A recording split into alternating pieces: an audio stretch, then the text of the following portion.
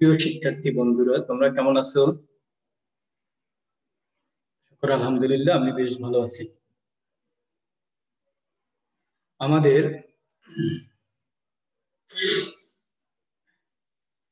আজকের বিষয় হলো ফিনান্স ও ব্যাংকিং তোমরা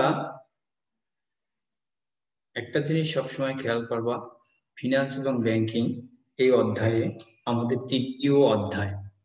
তৃতীয় অধ্যায়তে আছে অর্থের সময় মূল্য অর্থের সময় মূল্য আমরা শব্দটি দ্বারাই বুঝতে পারি জিনিসটা আমরা জানি যে অর্থায়নের বেশিরভাগ সিদ্ধান্তের মূলে হলো অর্থের সময় মূল্যের ধারণাটি জড়িত। অর্থায়ন করতে গেলে আমরা অর্থের সময় মূল্য যদি না জানি, না বুঝি, তাহলে আমাদের অর্থায়ন সঠিকভাবে হবে না। যেমন, আমরা যদি বলি, আজকের একশো টাকা, আগামী এক বছর পরে কত? তোমরা সবাই নিশ্চিতভাবে বলবে যে আজকের একশো টাকা পরবর্তীতে এক, পরবর্তী এক বছর পরে একশো টাকা নয়। কারণ এই দাম একশো টাকার মূল্য তখন কারণ দৈনন্দিন জীবনে আমরা অর্থের ব্যবহার করে থাকি। ধীরে ধীরে সেটা ভবিষ্যতে তার মূল্য বৃদ্ধি পেতে যেমন, আমরা যদি কারও কাছ থেকে একশো টাকা মুনাফায় ঋণ গ্রহণ করে থাকি, সেই ঋণের জন্য এক বছর পরে তাকে আমাকে একশো দশ টাকা পরিশোধ করতে হয়, তাহলে আমাদের বুঝতে হবে যে আজকের একশো টাকা এক বছর পরে ওই একশো টাকার মূল্য হবে একশো দশ টাকা। এভাবে আমাদের সময়ের সাথে সাথে অর্থেরও মূল্যের পরিবর্তন হতে থাকে। যেমন একটি শার্ট, তুমি যদি আজকে দুইশো টাকা দিয়ে ক্রয় করো কিন্তু সেই একই শার্ট একই কাপড়, এক বছর পরে যদি কিনতে যাও, দেখা যাবে যে তখন দুইশো টাকা দিয়ে কেনা কোনো মতেই তো তার দামের পরিবর্তন হবে।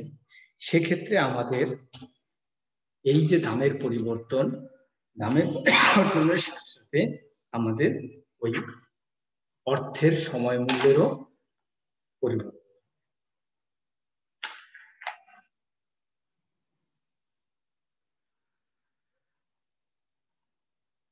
তাহলে আমরা একটু বলতে পারি যে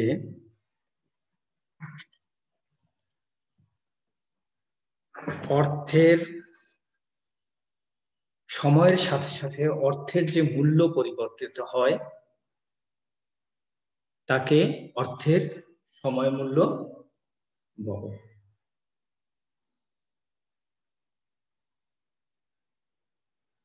আজকের একশো টাকা, আগামী বছরের একশো দশ টাকা অর্থের সময় মূল্য অনুযায়ী সমান মূল্য বহন সেক্ষেত্রে এই অর্থের সময় মূল্যের কিছু গুরুত্ব আছে বা প্রয়োজনীয়তা আছে। ব্যবসায়ের প্রতিটি ক্ষেত্রেই প্রতিটি সিদ্ধান্তের সাথে সাথেই অর্থের আন্তঃপ্রবাহ এবং বহিঃপ্রবাহ জড়িত থাকে। সঠিক সিদ্ধান্ত গ্রহণের জন্য এই আন্তঃপ্রবাহ ও বহিঃপ্রবাহ মেয়াদ ভিত্তিক মেয়াদ ভিত্তিক, খেয়াল করবে কথাটা, মেয়াদ ভিত্তিক, অর্থাৎ সময় ভিত্তিক, বর্তমান এবং ভবিষ্যৎ মূল্য নির্ধারণ করা প্রয়োজন।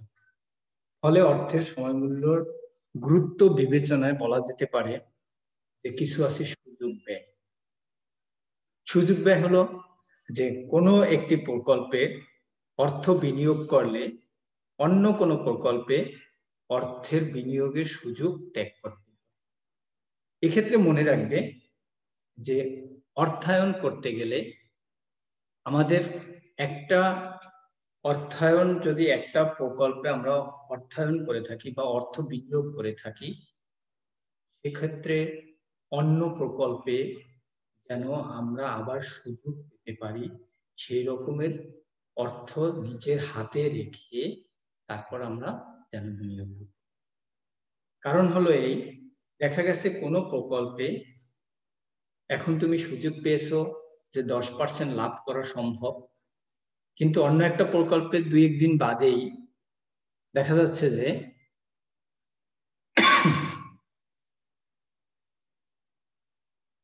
পনেরো পার্সেন্ট লাভ করা সেক্ষেত্রে তোমার হাতে যদি অর্থ থাকে, তাহলে তুমি দুইটা প্রকল্পেই অর্থ বিনিয়োগ করতে পারো। কিন্তু যদি তুমি এই বিনিয়োগটা না করতে পারো, তাহলে তুমি এই সুযোগটা হাতছাড়া করলে।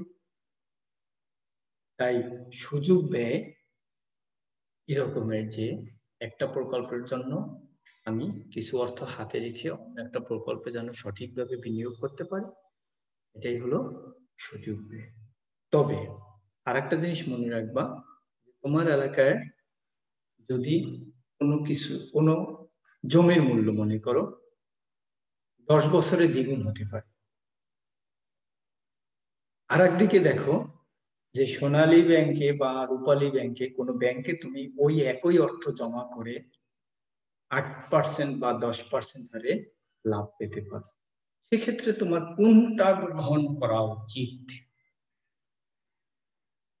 সেজন্য তোমাকে বর্তমান মূল্য সাথে ভবিষ্যৎ মূল্যের একটা পার্থক্য নিরূপণ করে তারপরে তোমাকে অর্থ বিনিয়োগ করবে।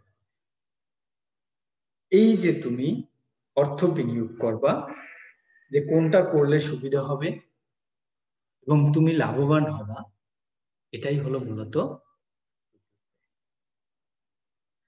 এখন কথা হলো যে অনেক সময় আমরা কোনো একটি নির্দিষ্ট জায়গার মূল্য যদি দ্বিগুণ হয়ে যায় পাঁচ বছরে বা দশ বছরে, তাহলে সেক্ষেত্রে সুদের হার আমরা কীভাবে নির্ণয় সেক্ষেত্রে একটা ফিনান্সের রুলস আছে বা নিয়ম আছে বা সূত্র আছে, সেটা হলো রুল বাহাত্তর নামে বা নিয়ম বাহাত্তর নামে একটা নিয়ম আছে, সেই নিয়মের ক্ষেত্রে তুমি বাহাত্তরকে মেয়াদ দ্বারা ভাগ করো। অর্থাৎ কত বছরে জমিটার মূল্য দ্বিগুণ মনে করো তোমার একখানা জমি আছে রাস্তার পাশে সেই রাস্তার পাশে সেই জমিটা যদি তুমি ক্রয় করো, তাহলে তুমি পাঁচ বছরে সেই জমির মূল্য দ্বিগুণ এখন সেক্ষেত্রে তুমি সেখানে লাভের পরিমাণটা কত পাবে? সেটা কীভাবে বের করবে? সেটা বের করতে হলে তোমাকে যে নিয়মটা পালন করতে হবে, সেটা হবে রুল বাহাত্তর নামে যে আইনটা আছে ফিনান্সের জন্য সুদের হার নির্ণয়ের ক্ষেত্রে, সেক্ষেত্রে তোমাকে বাহাত্তরকে পাঁচ দ্বারা ভাগ করতে ভাগ করলে পরে যা বের হবে, সেটাই হবে সুদের তো সেক্ষেত্রে এরকমের হতে পারে, তোমাকে যে কোন প্রকল্পে তুমি বিনিয়োগ করলে লাভ হবে এবং কোন প্রকল্পে বিনিয়োগ করলে তোমার লোকসান হবে বা ক্ষতি হবে বা ওটার চেয়ে লাভ কম সেরকম বিবেচনার ক্ষেত্রে অবশ্যই সুদের হার নির্ণয় করতে হবে এবং বিনিয়োগ করার ক্ষেত্রে এই সুযোগ ব্যয়টা অবশ্যই কাজে এরপরে হলো প্রকল্প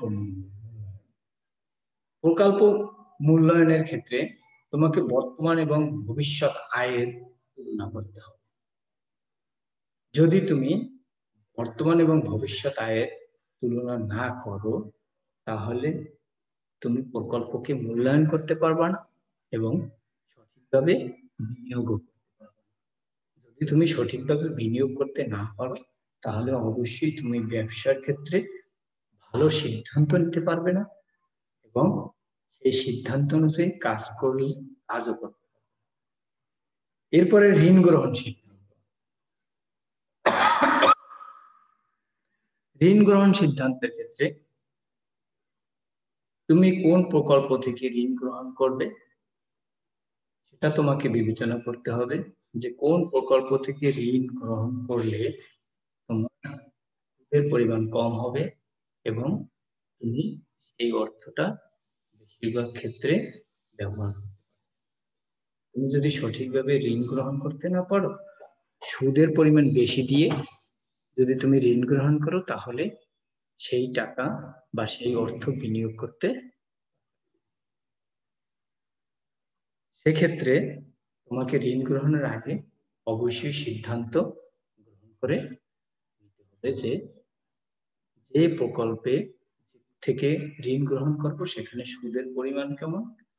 সেটা তোমাকে বিবেচনা করতে হবে যে আজকে তুমি যদি বেশি পার্সেন্ট দিয়ে ঋণ গ্রহণ করো তাহলে এক বছর পরে তোমাকে এটা কত দিন তো যদি এই অর্থের সময় মূল্যের ক্ষেত্রে তুমি বিবেচনা করতে পারো যে না, আমি ভবিষ্যৎ মূল্য এবং বর্তমান মূল্যের পার্থক্য বের করে আমি ঋণ গ্রহণ করব, তাহলে তুমি প্রকল্পে, বিভিন্ন প্রকল্পেও বিনিয়োগ করতে পারবে সঠিক।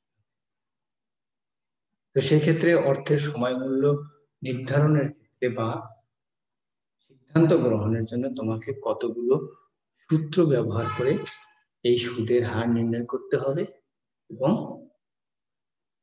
যদি সুদের হার এবং ভবিষ্যৎ মূল্য এবং বর্তমান মূল্য তুমি যদি নির্ণয় করতে পারো, তাহলেই তুমি সঠিক জায়গায় সঠিকভাবে ঠিক আছে?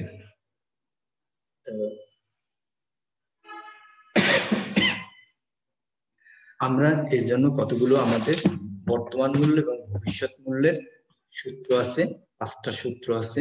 সেই পাঁচটা সূত্র আমরা আজকে একটু লিখে নেব। যেমন,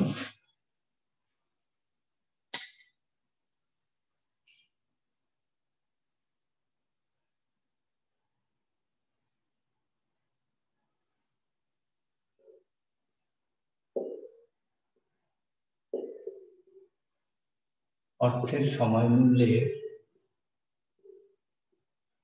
মূল্যে সূত্র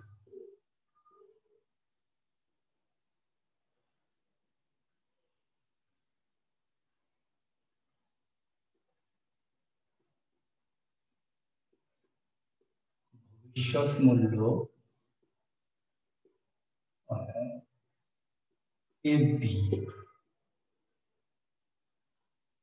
সমান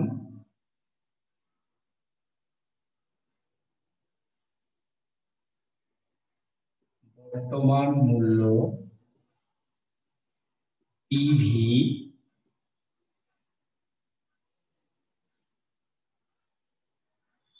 into 1 plus সুদের হার অর্থাৎ আর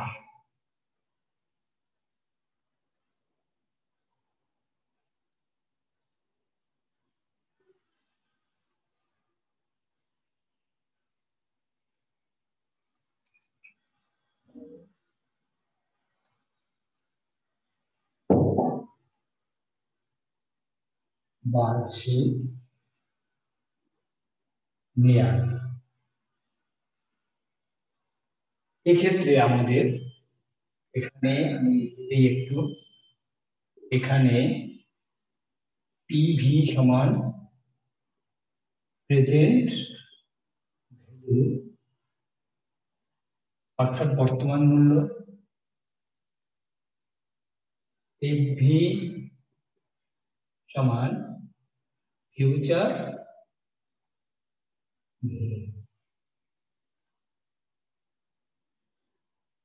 আর সমান ইন্টারেস্ট রেট আর বার্ষিক মেয়াদ অর্থাৎ টাইম সমান লিখি এন ঠিক আছে? এই বার্ষিক মেয়াদ এন ঠিক আছে, এটা হলো সময়। তো আমরা যদি এই সূত্র ব্যবহার করি, তাহলে এই সূত্রটার ব্যবহার করে আমরা ভবিষ্যৎ মূল্য নির্ণয় করতে ঠিক আছে?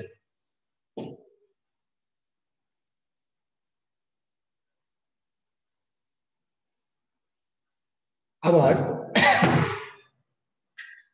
ভবিষ্যৎ মূল্যের মধ্যে আরেকটা আছে যে এপি সমান PV into one plus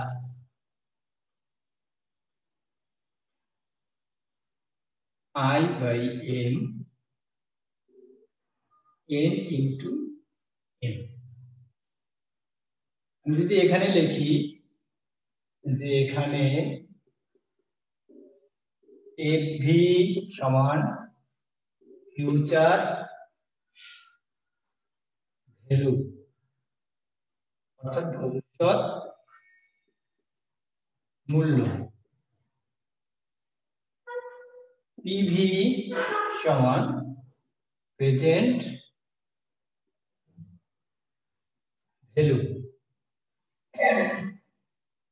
অর্থাৎ বর্তমান মূল্য আই সমান ইন্টারেস্ট রেট অর্থাৎ সুদের হার। আবার এম সমান চক্রবৃদ্ধির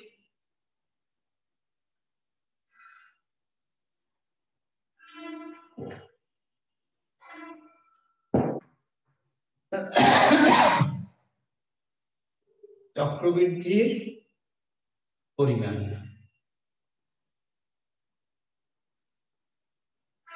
আবার এন সমান হলো সময় বা মেয়াদ অথবা বছর।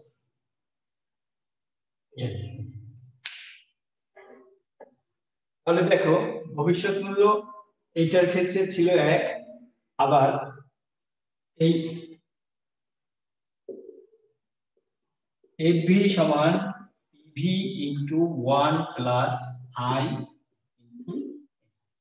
এটা ছিল। এই দুইটা হলো ভবিষ্যৎ মূল্য নির্ণয়ের সূত্র। এরপরে হলো দুই নম্বরে আমরা লিখতে পারি পিভি সমান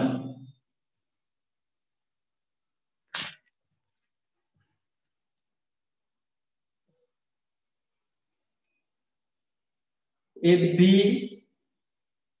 one plus I into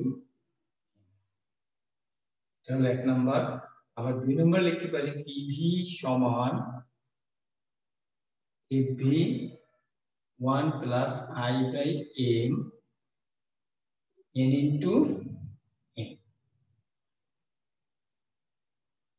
এই চারটা সূত্র আর একটা সূত্র আছে আমাদের।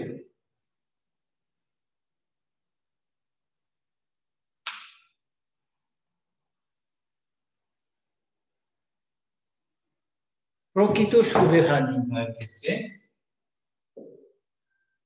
ই এ আর সমান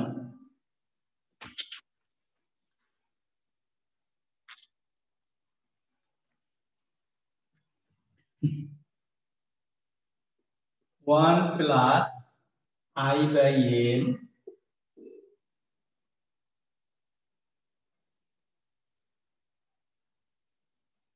M minus one. এক্ষেত্রে ই এ আর এখানে ই এ আর সমান effective annual rate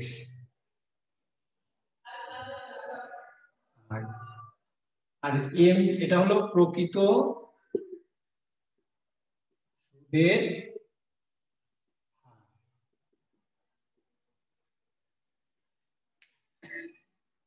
এক্ষেত্রে আমাদের এই প্রকৃত সুদের হার জিনিসটি হলো এরকমের যে গ্রামের মহাজন বা যারা ঋণদাতা, তাদের কাছ থেকে অনেক সময় ঋণ গ্রহণ করা হয় চক্রবৃদ্ধি সুদ।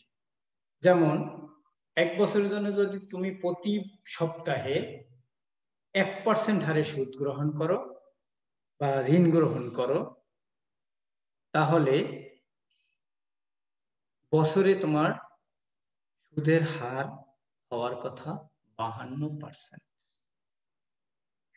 কিন্তু যদি সেই বাহান্ন পার্সেন্ট আমরা চক্রবৃদ্ধি সুদে ঋণ গ্রহণ করে থাকি, তাহলে দেখবা যে সেক্ষেত্রে আমাদের সুদের হার ভিন্ন। কিন্তু চক্রবৃদ্ধি সুদের হারের নিয়মটা কি? নিয়মটা হলো এভাবে যে এক সপ্তাহে যদি এক পার্সেন্ট সুদ হয়, তাহলে পরবর্তী সপ্তাহে তোমার এক পার্সেন্টের সাথে বাড়তি যে টাকা সুদ হবে, সেটা আসল হয়ে যাবে এবং আসল হয়ে গেলে সেটার উপরে আবার এক পার্সেন্ট হারে এভাবে প্রতি সপ্তাহে যে সুদ পাওয়া যাবে, সেই সুদটা পরবর্তী সপ্তাহে যখন আসল হয়ে যাবে, তাহলে তোমার পরবর্তী সপ্তাহে দেখা যাবে যে আবার ওইটার উপরে এক পার্সেন্ট হারে সুদ। যেমন কেউ যদি আজকে নেয় ছয়শো টাকা ঋণ নিল, গ্রহণ করল, সপ্তাহে এক পার্সেন্ট সুদ। তাহলে এক পার্সেন্ট হারে যদি সুদ নেওয়া হয়, তাহলে ছয়শো টাকায় ছয় টাকা সুদ। পরবর্তী সপ্তাহে গিয়ে তোমাকে সেই ছয়শো ছয় টাকার উপরে আবার এক পার্সেন্ট হারে সুদ। তাহলে দেখা যাবে যে বছর শেষে আমরা যেটা হিসাব করি, যে এক পার্সেন্ট হারে যদি সপ্তাহে সুদ হয়, তাহলে বাউন্ন সপ্তাহে বাউন্ন বাউন্ন পার্সেন্ট সুদ হবে। কিন্তু না। চক্রবৃদ্ধির ক্ষেত্রে এই পার্থক্যটুকু থাকে। তাহলে আমরা সেই যখন এরকমের থাকবে যে প্রতি সপ্তাহে বা যেভাবে এক বছর পরে বা দুই বছর পরে চক্রবৃদ্ধির কথা বলা থাকবে, তখন যদি আমাদের প্রকৃত সুদের হার নির্ণয় করতে হয় আমাকে এই সূত্রটা ব্যবহার করতে মনে থাকবে সকলে? তাহলে আমরা আজকে সবাই ভালো থাকবে। থাকবে। এই পড়া এইগুলো বাড়িতে বুঝতে পারবে এবং এর থেকে আবার আমাদের ভবিষ্যৎ মূল্য, বর্তমান মূল্য নির্ণয় করা শিখবে। ঠিক আছে? ভালো থেকো। আল্লাহ হাফিজ।